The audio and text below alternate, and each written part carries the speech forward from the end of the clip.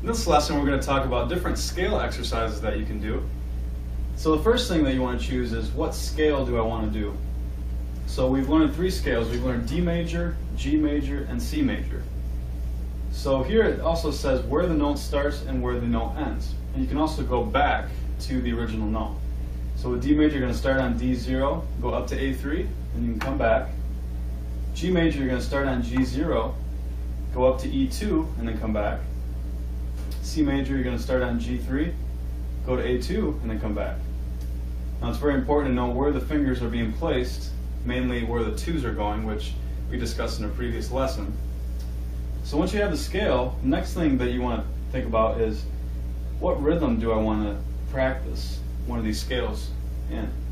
So you have the options of using quarter notes, dotted quarter notes, eighth notes, half notes, and you can also put in slurs.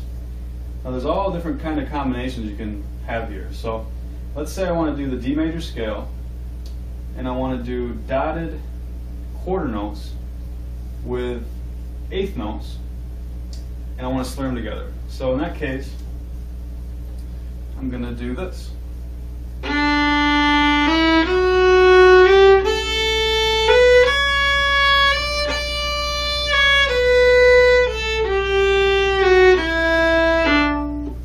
Exercise. And the last thing that you're going to do is pick a speed. So with that particular exercise, I could play that fast or slow. So I could go.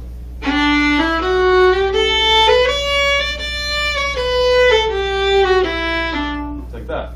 Now you can make it even simpler. You could do maybe the G major scale, just half notes, and play it slowly. So you could just go like this.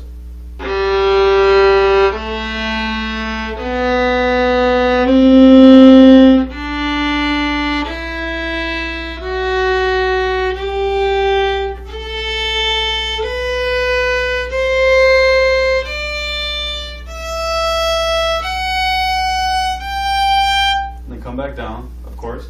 So with this whole system, there's probably about 20 to 30 different combinations of scales that you can do with the three different scales that you know, the, the rhythms and the speed.